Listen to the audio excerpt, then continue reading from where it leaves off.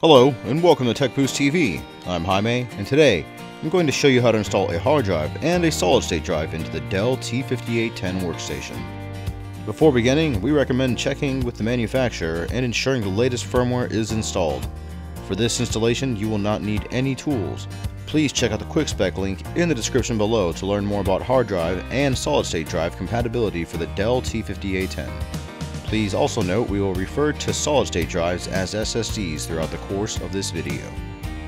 First, ensure your computer is powered off and the power cord is unplugged. Next, press and hold the power button until the white light is completely shut off to ensure there is no residual power remaining on the motherboard. We recommend going through this process with the workstation on its side to have better access to the system's interior. We also highly recommend you check the manufacturer's system manual and comply with their recommended safety instructions.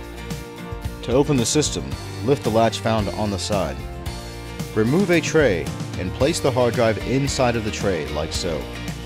Each of the four pins must be plugged into the retaining holes on the four corners of the drive. Once properly mounted, the hard drive will be flush with the tray and you can reinsert the tray back into the bay. Connect the data and power cables to finish installation. On the other hand, if you are installing a solid-state drive, also known as an SSD, the process is the same except that you will need to mount the drive into a drive bay converter. To install the drive into the drive bay converter, you will need to mount the smaller SSD into the converter as shown. This is a toolless process, but it must be mounted flush in order for the drive to be mounted correctly. Once the SSD is installed, the rest of the process is the same as a regular hard drive install, with the entire converter and SSD assembly taking the place of the regular hard drive.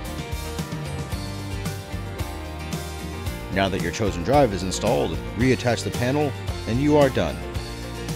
Please check out our how-to videos covering processor, memory, hard drive, and video card installation for this and other systems. If you have found this helpful, please hit the like and subscribe buttons below.